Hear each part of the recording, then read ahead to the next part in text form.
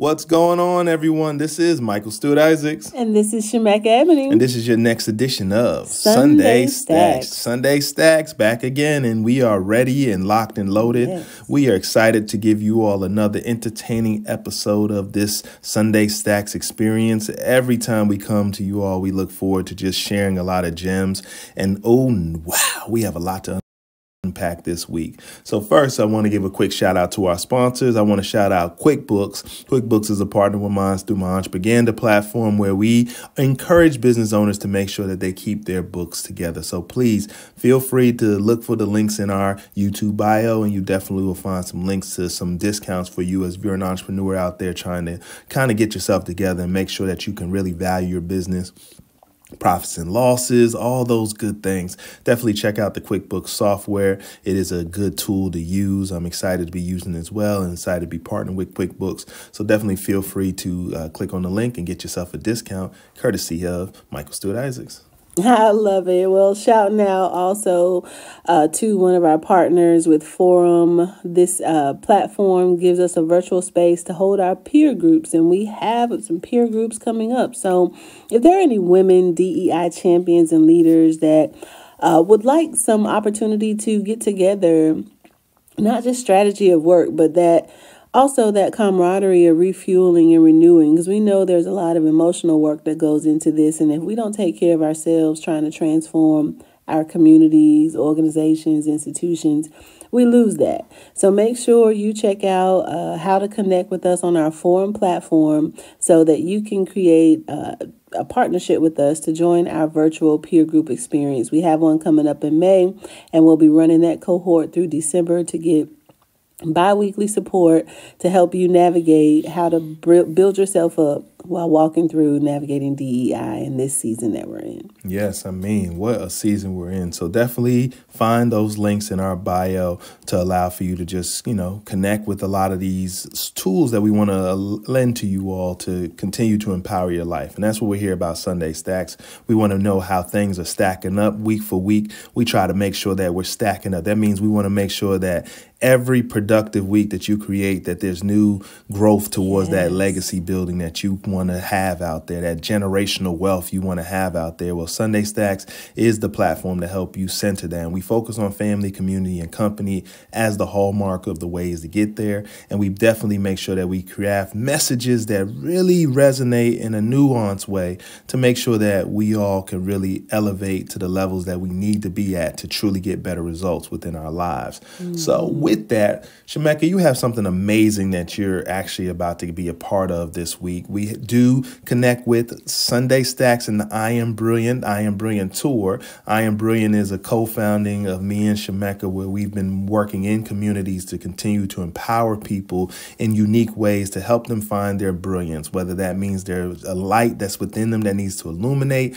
or that reboot that a person needs to just find their confidence again. I Am Brilliant is that tool to do that. You can get more information on that from iambrilliant.org. But with the tour, we have a lot of science that we teach and Shemekka particularly teaches something I love to call the community champion certified. She helped me learn how to be a community champion out here. And Shemekka, what you got going on this week? Tell people where you're going to bring this I Am Brilliant tour, what you got going on. I mean, it's uh, here's like sound like some powerful work from what I'm hearing through the grapevine. Oh, this is so exciting. I am so grateful to have this opportunity to take the I Am Brilliant tour to St. Louis, Missouri. St. Louis. Yeah, shout out to the National Urban League, Wellbeing and Equity Win Week will be happening. They're hosting it at St. Louis University. We're going to be there for like four to some are even arriving super early um, for some hackathons around social change. So we're going to be there this week under the theme of being better ancestors. And we are really uh, looking to create ways to amplify resources, tools, ways of being, ways of cohabitating with humanness around us, and how we prepare the times now to be considered and understood as better ancestors for our future. What does that really look like? We have uh, partnered with Shoma, who I've uh, really appreciated and value working with uh, since the 100 Million Healthier Lives um, work from what, 2016? Um, really creating the culture of health and well being has been the center of a lot of the work that I do. Specifically, we will um, be speaking about the Community Bill of Rights as a tool um, of partnership to center community and how it's being activated. Uh, Jen Olson will be joining me from Maine, uh, and we're going to be coming together in St. Louis to have a session on that Wednesday to really lift up what the Community Bill of Rights is, uh, thinking about how you can utilize this Community Bill of Rights to improve your outcomes in your community engagement and how you center community with intention. So we're not only looking at building better ancestors now with the Community Bill of Rights as a way of, of being in partnership and agreement, but also looking at how this could en- encompass our future and where we're going and what that can look like. We're in real time building a roadmap to be better ancestors together. I love that. And I like the thought process of an ancestor, being a better ancestor just in general, when we think about that, it just sounds so profound. And I'm excited for what you have going on where the I Am Brilliant Tour will be this week, which will be in St. Louis. And definitely excited for the people of St. Louis and those who are just coming in from different places to partake in this event. Oh, shout out. We will be doing a pop up in person with While I'm Getting Naked in Sanctuary Life. So if you're at the event, make sure you look for us in the hotel. It's Angad Arts Hotel. We'll be doing a pop up that Wednesday night after our session that Jen and I will be doing. That's awesome. And we'll make sure to put some of that information in the chat. And please follow us on social media.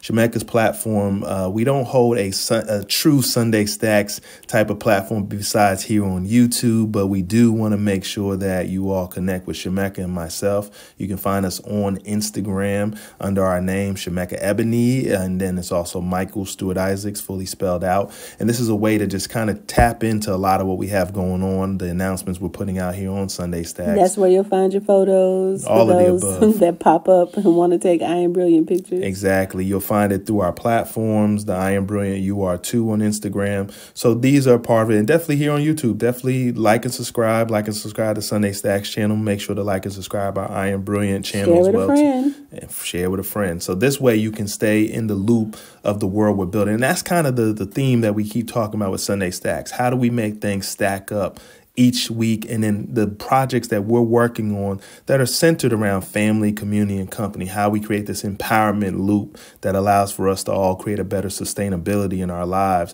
and truly not be subject to a world that has totally ignored us. And that shifts us into our topic for the week. We want to talk about ignore or ignorant. Like, let's talk about these words that we have heard over the years. We've mm. heard the word ignorant. But I dare to say the word is misnomered, if not misdefined, in how we see it.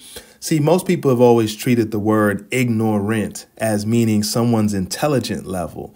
But I dare to say, from the root of it, when we think about the word ignore and what it means to ignore something, would the ignorant not be the people to not pay attention to? And so when we look at that as a way of looking at our society and the things we choose to ignore, and our ignorance of someone else's plight and different struggles through their family, community, and company. We want to set up the, the conversation today as we look as a reflection on how do we start to make ourselves no longer ignorant, ignoring the things that are happening around us, and how do we shield ourselves in a way that we still do protect the guard of our family, our communities, and our company, but not ignore the plight of other people, other communities, and other companies that are trying to figure their way out. So, mm -hmm. this is the topic today. We want you to put some of your ideas and thoughts in the chat. We love the engagement. We love the communication and how we put these ideas out here. But we also want your feedback and you to answer some of these questions. Me and Shemekka are just sharing our thoughts here on the Sunday Stacks platform in regards to this ignorant, ignore conversation. So, Shemekka, you have any thoughts in regards to just this theme we're working on today in regards to ignorant and its meaning as well as how it shows up today in society? Yes, when you were uh, lifting that, it just really, I put myself in the position of those that may feel ignored. Uh, maybe screaming, yelling to the top of your lungs, and you do not feel heard. And when I think about people with lived experience expertise, this comes up a lot as far as how they are being heard. And so when you lifted the word ignorant, it, you know, for me, I broke it down very quickly in my mind to ignore the rant Um, most of the time, when we are expressing ourselves and we don't feel heard, we're emotional, uh, we're yelling, we're angry, you know, our hurt is coming in different ways. And we may feel like people have tuned us out. Mm you know and the power of this word ignorant on the other side you know a, another perspective is around how many people have been conditioned to ignore our rant for injustice ignore our rant of inequity how many times have people just off of social conditioning um, silenced the voices of those that are facing inequity and have been trained and conditioned to ignore it until they want to do something. They want to feel generous, want to feel helpful, want to uh, feel benevolent. benevolent, right? Around Christmas time and holidays when you want to give you know food and clothes away. I mean, I think that's a great perspective, and we're gonna keep it right there, right? What who are out there with the power of the statehood, power of the their citizenship to be able to still choose to ignore those who we see either you know homeless or someone who is asking you know for a little bit of a help or assistance to not be under the plight of our current system the way it's structured. And we all understand that everyone's academic levels are different. Everyone's pursuit towards ambition is different.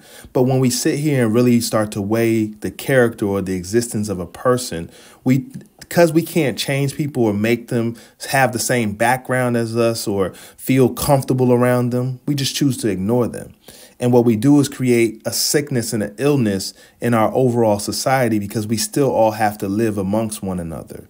And what happens is resources start to get sniped and snuffled and, you know, covered up because people then say, hey, you know, I don't necessarily want this group that I have no relationship with to have something. So therefore I can just ignore it and until they get loud enough to say they need something or want something to stop, that's when I can jump in and, and then maybe do something or put a little band aid on it or create somebody else to be a distraction towards the means. And I think that's the key to ignoring is that we constantly create distraction after distraction after distraction to allow mm -hmm. for us to ignore real problems in the world. There are real problems and real things going on in the world, yet someone can stop and say, Well, I need a moment to play a video game because we then need a distraction to ignore the realities of our lives and our world. And we have to understand that sometimes even in ignorance and the things that we use, we turn to drugs and alcohol and all these different things that could start to keep us kind of numb towards real things that require actual thought leadership and allow for us to really kind of hold ourselves back. And, you know, I can go on for days with this, but I definitely want to get some of your input in regards to what, what I'm saying and how this could be translated for our community. Mm, I really appreciate us spending some time with this because it helps us understand our power. Because sometimes we do have to um, make sure that we are communicating in a way that people can understand. And when we don't understand, it's easier for us to ignore. So there's another component of this where we look at people or we've identified people or labeled people as ignorant. Uh, and we've had this assumption or assimilation to this to also mean stupid or unlearned. When we look at that from the standpoint of our misunderstanding and uh, how this really shows up in practice, uh, those that um, are oppressive in some nature are actually unlearned in understanding how to effectively communicate. So, ignoring problems does not make them go away. And so we look at it through this lens. We have this opportunity, uh, you know, even for in preparation for this week, we cannot ignore the ills of what's going on globally in our family, in community, in our companies, really by ignoring it. There's so much going on, and I even, you know, I call mine mindless behavior. When things get overwhelming, I'll go look at something or play Candy Crush because I don't have to think about it right. uh, to filter out. But how many of us, our main source of information that we that guides our intentions and our thoughts, and even some of our advocacy work, is fed to us through social media, which is also a place where people go and dump stuff that is what we will, you know, we are familiar with calling ignorant content things that make us laugh, things that will distract us, but also is um, causing us to limit ourselves and ignoring major problems that are happening that are impacting us, but we don't know because we're following the distractions to as a way of practice or a way of being to drown out the negativity but it's a it's an endless cycle is what i see. And what we're being trained and conditioned to ignore and not pay attention to uh, what rants are happening that we want to pay attention to you know how it's not sustainable to our mental well-being uh, our our own self-care and well-being looking at violence looking at war looking at even the things that we're following online in our efforts of advocacy. If we don't find spaces and places to heal ourselves through that uh, we'll find ourselves in a vicious cycle of being being boxed into what this is and the impact of our community in developing. I love it. And I think this is where we now have to transition to our Wiz of the Week. Wiz of the Week. Shemekka alluded to in her beautiful, you know, eloquent way of breaking down this ignore rant. And let's bring that into the Wiz of the Week. This week is no different when it comes to our theme of ignore rant, right? We have wars everywhere. There are wars going on everywhere here on the globe, and yet we can still distract ourselves with sports, sports betting, all these other things that we choose to participate in and put all of our energy, put all of our stakes on it. We have interest rates and we have financing, we have inflation everywhere. We have all these things that we're choosing to war. We have political factions running for elections warring. We have presidents, former presidents on trial right now for things such as having porn stars paid off privately. We have all of these things happening right now that we're ignoring.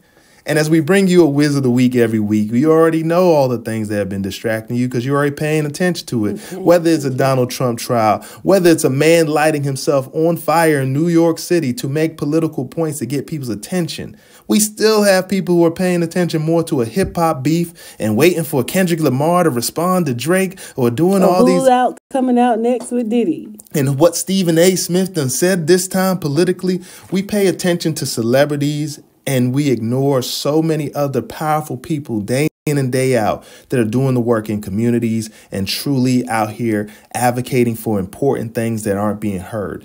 Years ago, I had the privilege of being a part of Occupy Wall Street. And one of the fundamental things I walked away with that now is the undergirding of my work is that there are so many issues and concerns that people have out there. And yes, could capital and money go to these things and fix them? Yes, but most of the time we know it's people's benevolence and all these other things that go to these particular things. And it's never any real concentrated effort to solve anyone's real problem. That's the part of the ignorant, whether it's something that we have to wait for a legislator to do or something we just choose to do as a people people. At some point, we cannot ignore all things and not expect this backlash that we see, this constant infighting and wars and things that we're seeing out here, or people taking extreme measures towards putting themselves in harm. Mm -hmm. I mean, what do you, you know, what else, I mean, can we say about the Wizard of the Week? You know, this is that the season, you know, this moment when you may need a reboot. You feel yourself uh, overwhelmed, you feel yourself down, you could be feeling depressed, you may feel stuck, you may not feel your spark anymore. This would be a good time to kind of do that self evaluation. We're into this quarter, time has come, our New Year's resolutions are, are gone and past. So when we think about how much this energy is put into the Wizard of Week, that feels draining, you may need to rediscover yourself with a reboot. So I would highly recommend you check out getting your own copy of While I'm Getting Naked Reflective Journal to really do that self care, well being check in on yourself. And you can find that at shemeka.com. And I'm happy to walk with you and bring you, meet you where you are and pull you out to where you want to be. I love that. And I think we just have to look at ways to really empower ourselves. As again, Sunday Stacks, we're about family, community, and company. So when we look at that, we have to make sure the matrix of our mindset is set. And a lot of the work we're doing in Entrepaganda is designed to help you get yourself organized and have you prepared for the future. As we discussed, we work with companies like QuickBooks, and we have so many other products and services to continue to encourage and coach you to that space you're truly trying to build. And we want to make sure that you join. So we definitely will put links and opportunities for you to join our communities and be connected to everything that Sunday Stacks is here. As community leaders, we have so many things that we're stacking up week for week. And as we look at all the things going on and the things that we're ignoring in the world, don't ignore this Sunday Stacks program. This mm. program is for you. This program is for the mm. free thinkers. This program is for those who want to claim their citizenship. We're not trying to overturn governments. Mm-hmm. We're trying to empower governments to do better. And if they need a roadmap of endurance and empowerment, that's what Sunday Stacks is here to provide because people have to consider family, community, and company as a hallmark for us to all rise up and truly create an economy and a world that is truly able that everyone gets what they want. As I always tell people as a motivational speaker, we all have the ability to go to sleep. And some people remember dreams and some people don't dream. But when you do have the ability to dream, it's no different than when you're awake to realize that your dream is not interfered because another person's exist. And we have to look at life in the same way mm-hmm. that when we're alive and living, that just because one person exists doesn't mean they're going to take resources from you, doesn't mean that they're going to exhaust you in other ways. We have to start looking at our world so much differently and stop ignoring so much. Stop being so afraid. Stop having guns that feel like we can just justify harming people with weapons I believe people have the right to protect themselves, but I don't believe people have the right to harm people because they're afraid. And we have to do better as a society. And that's, that's what we're good. here to teach you all mm-hmm. and just share with it with all the love and positivity that we can give, but Sometimes we got to give it to you real because we understand we are in America, Jack, as the quote, the famous line from Coming to America. And you got to understand how to get along, to get along, to understand how to deal with people and truly communicate things. And that's what we have. You know, me and Shemekka are talent that really love to communicate with the world. And that's what this Sunday Stacks is giving us a beautiful platform to do. So, Shemekka, if you got anything else to say to the people before we wrap? Hey, St. Louis, we are coming St. to you this week. So Uh-oh. hit us up, you know, reach out, hit me in the DM if you want more details about where we could pop up. Actually, uh, Win Week is something that is also being uh, streamed virtually. So there's still time for you to register and connect with us this week and pop in virtually. All right. So as we wrap up, as we always say, everything will be in the link in the bio. Share this episode. Please put in the description. Make sure sure to tell a friend to tell a friend that Sunday Stacks is the thing they should be listening to. And as always, as we say, I, I am brilliant, brilliant, and you, you are too. too. Thank you again for enjoying this episode.